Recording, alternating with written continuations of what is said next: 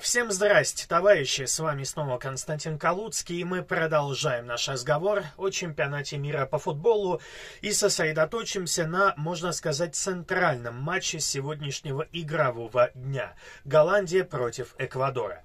И здесь следует сразу сказать, что меня очень сильно разочаровала команда Луи Ван Гала. Даже если абстрагироваться от результата и сосредоточиться исключительно на качестве игры, то тут тут очень много вопросов. Мне кажется, что голландцы провели очень посредственную встречу, и та же самая статистика, наверное, поразит многих, э, что долгое время у Голландии было всего два удара по воротам соперника, вплоть до концовки, по-моему, второго тайма. И то, что в целом голландцы не показали нужного конструктивного футбола и то, что, на мой взгляд, вот чисто по футбольному, по игровому, эквадорцы выглядели намного интереснее. В общем, давайте разберем эту встречу, но сперва хотелось бы напомнить, что наш спонсор – это компания BaldBet, которая предлагает вам специальную акцию. Вы можете заработать две с половиной тысячи, ничем не рискуя. Что нужно сделать? Да всего ничего. Пройти по ссылке в закрепленном комментарии, зарегистрироваться на сайте BaldBet, а также ввести промокод, который также указан здесь, в закрепленном комментарии. Вы получите три бесплатные ставки, по каждой можете выиграть две с половиной тысячи. По-моему, отличный, отличный подгон в наши тяжелые времена. Ну а мы переходим к стартовым составам, и здесь есть любопытные нюансы. У той же самой Голландии состав поменялся, и некоторые решения напрашивались. Ну, например, посадить на скамейку запасных абсолютно бесполезного Янсена, который, на мой взгляд, провалил первую встречу, и выйти фактически без номинальных нападающих, а вот некоторые моменты, скажем так, удивили. Итак, во-первых, на воротах Ноперт, вот этот новый голландский голкипер, на которого делает ставку Вангал, многие говорили и ходили такие слухи, что Вангал может использовать ротацию голкиперов вообще по ходу Мундиаля даже менять стражей ворот, но не сложилось и здесь, как видимо, Вангал определился с номером один, хотя к нему по этой встрече были определенные вопросы. Ван Дейк, Аки и теперь уже Тимбер в центре защиты, Делихт остался на скамейке запасных. Э, интересный нюанс, особенно учитывая то, что в предыдущей встрече Делихт выполнял очень интересный маневр и много подключался вперед фактически таким скрытым атакующим хавбеком. Что было любопытным нюансом, вот эти включения Делихта и то, что именно его посадили на скамейку запасных, но отчасти, наверное, говорит о том, что он не совсем выполнил то, что хотел от него главный тренер. Блинд и Дюмфрис на флангах, ну, здесь понятно, это ключевые игроки, да.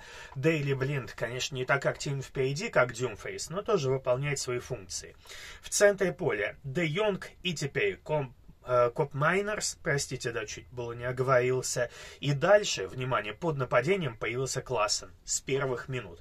Что очень интересно, потому что раньше, ну, скажем так, команда чаще всего оставляла классно на скамейке и выводила в основу номинального центр-форварда, как того же самого Янсена, который провел первую встречу. А в этой игре Янсена посадили на скамейку запасных, замены ему по позиции искать не стали, то есть того же самого Де Йонга не выпустили, выпустили Классена в атаке, Гакпо и Бергвейна. То есть здесь э, не было, так скажем, номинального центрфорварда в принципе. Но, как мы знаем, Гакпо способен выполнять функции атакующего вот именно центрального форварда. Поэтому здесь ну, скажем так, отчасти можно сказать, что команда вышла и без номинального девятого номера, но были игроки, способные закрыть эту позицию по ситуации, что мы увидели в первой же голевой атаке и, собственно, вообще в первой полноценной атаке голландцев, когда они сходу первым же ударом смогли забить мяч в ворота Эквадора.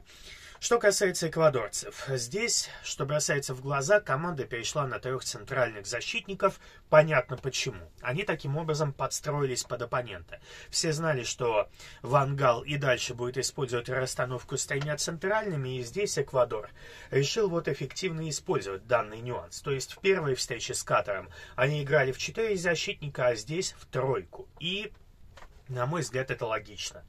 Мы уже много раз говорили про то, что когда у одной и у другой команды одинаковая схема, это всегда идет в плюс именно обороняющимся, потому что они получают возможность закрыть каждую позицию и мешают сопернику создавать численное преимущество, потому что получается на одного атакующего игрока все время есть один оборонительный. Так что здесь эквадорцы в этом плане поступили абсолютно логично, и Альфаро, аргентинскому наставнику, можно только плюс поставить за такую тактическую работу. На воротах Галиндес, в центре защиты Торрес, Поросо и Инкапье. Главная, можно сказать, надежда эквадорского футбола из Байера, Пресиадо и Эступиньян на флангах, Кайседо Мендес в центре поля, ну и атака Эстрада на острие, Энер Валенсия, главная звезда, которая снова забила, и Плата, также рядом в атакующей группе. Схема, как я уже сказал, с тремя центральными, она не только удобна с тактической точки зрения, позволяя скажем так, эффективно обороняться против Голландии, она еще и эффективна в том плане, что максимально раскрывает потенциал Эступиньяна, одной из главных звезд э, сборной Эквадора, который теперь может больше подключаться вперед, действовать в среднем повыше, ближе к воротам соперника. И, кстати, в моменте с забитым мячом Валенсии все началось именно с перехвата из Ступиньяна, э, так что в данной ситуации, ну, наверное, вот именно вот, э, простите, да, и Ступиньян нанес удар, после которого Валенсия добил, разумеется, да, я здесь немножко поправлю себя, но опять же, это возникло вследствие высокой позиции этого крайнего защитника, поэтому здесь, в принципе, на мой взгляд, главный тренер Эквадора угадал и с составом, и с тактикой на матч, но начало вышло обескураживающим, и здесь рискну предположить, что эквадорцы, возможно, немножко не вошли в игру, вот э, Здесь, возможно, вообще сыграла свою роль предыдущая встреча, где Эквадор очень быстро оформил победу над Катаром и вторую половину встречи провел в полусонном ритме, экономии силы. Возможно, это немножко выбило как бы Эквадор из колеи и выбило его из игрового ритма, а возможно и расслабило. Голландцы же наоборот, они очень долго тянули резину в предыдущей встрече и добили соперника в концовке, в самой концовке. Поэтому здесь но, возможно, это и сказало, что голландцы были как бы больше мобилизованы на первых минутах, и они в итоге очень быстро воспользовались вот этим фактором своей мобилизации. Забили гол при полном попустительстве обороны Эквадора, что удивило. И вот это, кстати, тоже еще один нюанс, потому что эквадорцы по-моему, они показали отличную игру в защите, практически ни черта не позволили создать голландцам, и, как бы это сказать, Эквадор вообще славится своей организованной обороной. И здесь, в целом, они ориентируются на крепкий фундамент. И то, что их защита вот так вот поплыла на первых минутах, это невозможно объяснить тактикой, потому что дальше они играли сосредоточенно. Это невозможно объяснить слабым индивидуальным классом, потому что здесь очень толковые игроки, там и Ступень Ян, и все остальные это звезды настоящего эквадорского футбола. Поэтому здесь, ну, скажем так, все это связано в первую очередь с тем, что команда не вошла в игру. Такое бывает. И после этого, как мне кажется, голландцы слишком расслабились. Вот слишком. Они, конечно, забили круто. Здесь Классен показал себя, Низаеву выпустили с первых минут, и Гакпо показал, что даже без номинального центр-форварда Голландия умеет атаковать. Вопрос в том, почему они дальше разучились это делать. На протяжении всей оставшейся игры на поле была всего одна команда фактически в плане атаки. Это Эквадор. Голландцы много владели мячом, да, но у меня такое ощущение, что даже их владение было таким, знаете, оборонительным элементом. Они играли по принципу, пока мяч у нас, нам не забьют. А вот сами ни черта толком не показывали в атаке. И это очень сильно разочаровало. При том, что состав ну, действительно очень мощный. Хватает качественных исполнителей. Но что в первой встрече еле-еле дожали в концовке, что здесь? Обратная ситуация, забили в начале, а дальше вату катали. Ну, Возможно, кто-то скажет, что Луи Ван Гал хитрый старый лис, экономит силы, чтобы потом выстрелить как следует в плей-офф. Возможно, тогда я возьму свои слова обратно. Но пока что голландцы откровенно разочаровывают в плане качества футбола. Абстрагируясь от результата, который, в принципе, пока нормальный, худо-бедно в этой группе, но вот качество футбола откровенно слабое. И вот здесь эквадорцы очень здорово действовали по слабостям голландской сборной. Во-первых, они очень умело жали на флангах. Здесь, как мне кажется, Дюмфрейс периодически все-таки заигрывался впереди, а Блинд, ну, уже и в силу возраста, и в силу специфики своей, не всегда вовремя успевал на свою позицию, в принципе, и иногда проигрывал в скорость. Он в молодые годы-то не был сверхскоростным крайним защитником, и его часто в центр поэтому сдвигали. А тут против э, фланговиков Эквадора Эквадора, там и Ступиньяна, Платы, всех остальных, ну, были огромные проблемы. Плюс и Валенсия смещался на фланг. В общем, у голландцев возникали трудности серьезные именно на бровках. И здесь эквадорцы очень здорово их теснили, таким образом вынуждая голландцев, как бы это сказать, растягивать свою оборону. И это, в свою очередь, открывало большее пространство в центре, откуда шло огромное количество опасных ударов. И это было еще одним таким достаточно серьезным сюрпризом. Казалось бы, у голландцев голландцев очень мощная полузащита. Но опять же, Де Йонг не всегда успевал там, где нужно. Э, Коп Майнерс тоже не везде был своевременно. И в результате самые опасные удары эквадорцев, по большей части, это были дальние выстрелы. И вот тут ну, мне кажется, могли забивать куда больше представители Эквадора.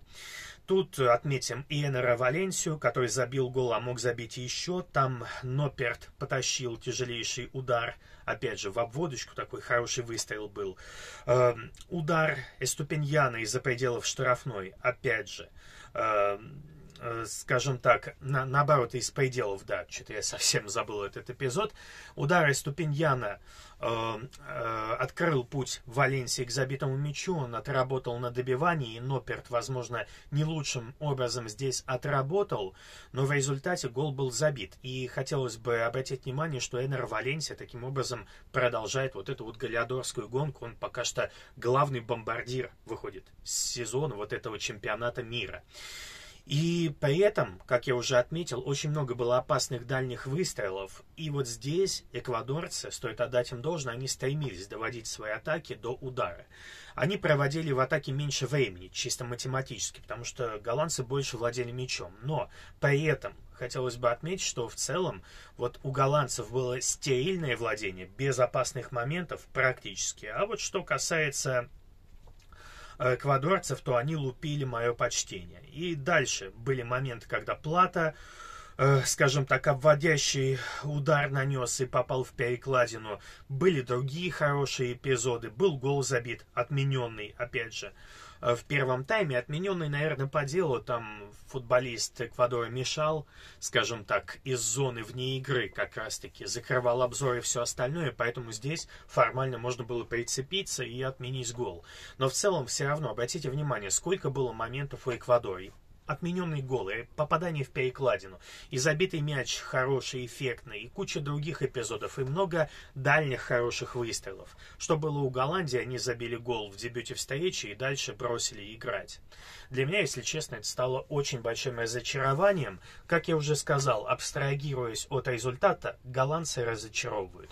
Да, в сухом остатке ну, у них все очень неплохо. У них 4 очка в активе, и дальше матч с откровенно слабым соперником Катаром, ну, который все-таки попал на чемпионат мира только потому, что это хозяева турнира, и здесь Катар, скорее всего, будет обыгран, ну, с высокой долей вероятности. Поэтому здесь по результату вопросов нет, а вот по качеству футбола претензии имеются.